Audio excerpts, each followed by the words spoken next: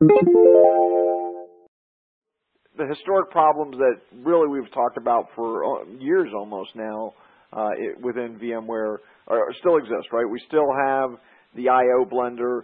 It still can be hard to manage at times with a legacy system, and, and troubleshooting can be uh, particularly challenging for people. What's interesting is that those problems still exist, and as VMware becomes uh, more embraced and moves you know deeper into production, it's actually getting worse, not better, right? I mean, one of the big challenges we're starting to deal with now is we're running into uh, uh, environments where the hosts are, are, supporting two or three times as many virtual machines as they did originally.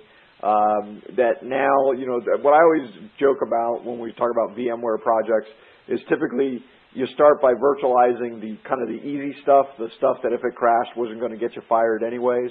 And now we're sort of hitting that, we're kind of into that era of people are starting to virtualize things that if they crash, people get in trouble, right? And so Microsoft SQL and SharePoint and things like that, right? And so the criticality of what you're virtualizing is much more critical than than that first wave, so to speak.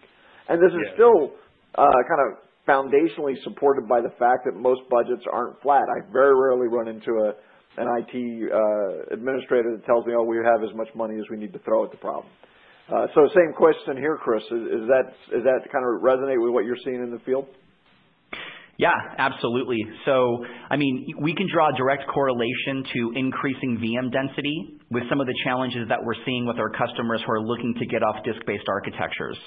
Um, the benefit of increasing VM density and then implementing a technology from a storage perspective that allows you to increase your storage density by way of flash density we're starting to see a lot more um, customers understand the benefits of what a flash architecture can do.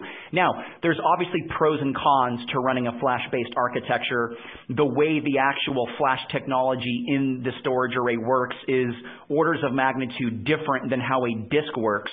But what we're noticing, especially from an adoption perspective and a roadmap perspective in the storage industry, is we're seeing densities at flash approach 8 terabyte flash modules, right? So imagine what you can do in a data center when you're significantly um, increasing density from a compute perspective, and then introducing a flash-based technology that's able to give you a storage array in a 3U with fully populated 8 terabyte cards.